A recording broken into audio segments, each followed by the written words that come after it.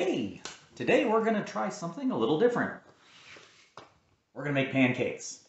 We have the Pillsbury Funfetti buttermilk pancake and waffle mix with Oreo cookie pieces and the Captain Crunch Berry-tastic pancake mix, which says is the Aunt Jemima uh, is the base for this one.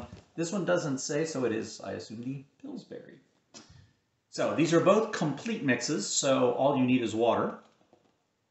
And uh, let's see what the uh, batters are like.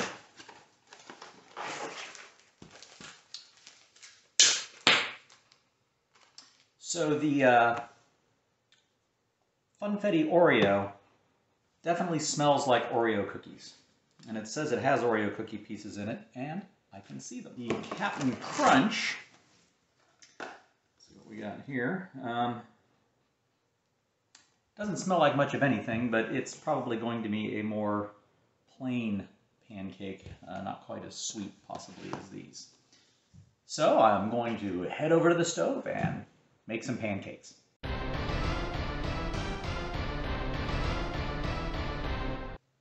Okay, here we have the batters that came out of these.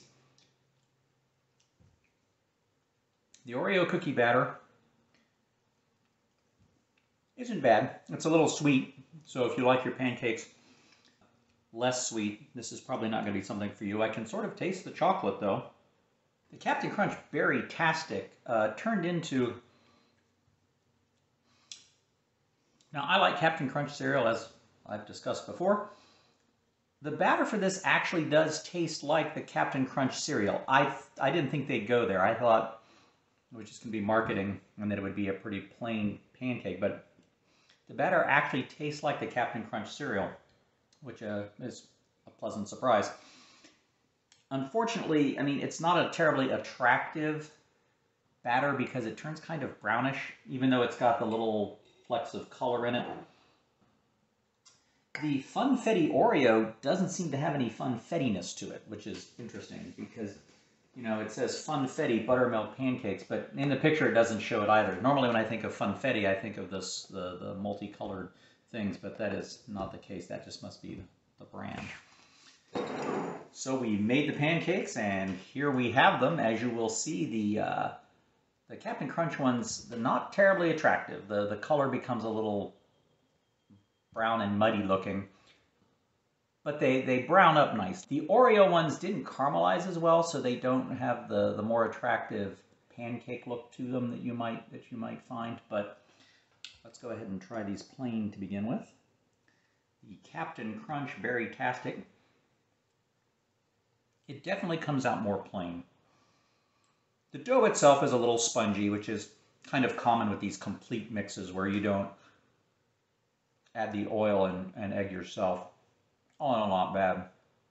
The cooked pancakes don't taste as much like Captain Crunch as the batter does.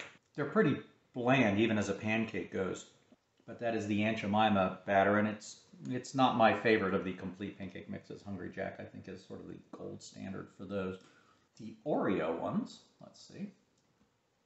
Again, a little spongy, which is what you'd expect from a complete mix. There's kind of an odd, almost, I hate to say it, chemically taste to these. Whereas the Berry-tastic, the Captain Crunch weren't, they were just kind of bland. They tasted fine. These almost have some sort of undertaste that is, is, is not is not very attractive for a pancake. I get a hint of Oreo flavor to them. The batter itself or the dough itself is a little uh, a little odd tasting for a pancake. So if you're making pancakes and you don't want to make them yourself and you're making them for your kids, yeah, sure. You know, a pancake never pretends to be really healthy anyway. And as sugar goes, these probably, it doesn't look like they're any worse than what you would get in a normal complete pancake mix. And, and I can tell from the taste, they are not overly sweet, which is good. So as pancakes go, these are fine.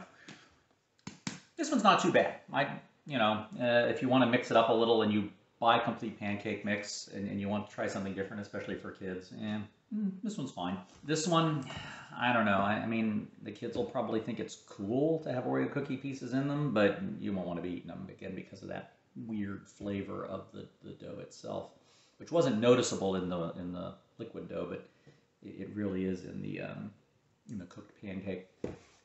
Uh, I, I, don't see any reason to try these with syrup and butter. You could put syrup and butter on them. Sometimes if the pancakes are too sweet, syrup isn't going to be a good choice. But these actually, as I said, once you cook them up, they become blander.